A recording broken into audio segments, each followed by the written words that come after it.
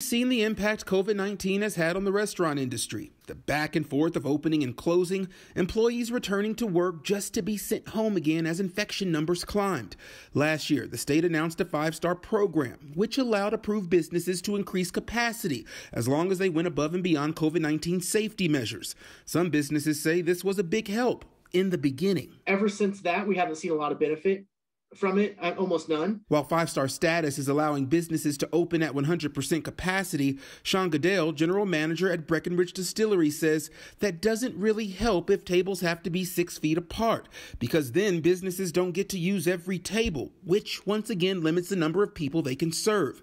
Right now, one of the only benefits they're seeing is making guests feel safer. From a standpoint of getting to open more stuff or benefiting in the sense of having more availability for more guests to come in or more reservations to open up, we really haven't seen any benefit since we got to reopen. It's affecting my staff, and that's what's really tough to see. The Colorado Restaurant Association agrees. Until businesses see restriction changes in form of distancing, they can't climb out of the hole the pandemic has put them in. They want to keep their guests safe certainly um, and their employees but but we're hopeful that soon um, our, those those public health officials will tell us that it is safe to go to say four feet or three feet as opposed to six. I think that's going to be really key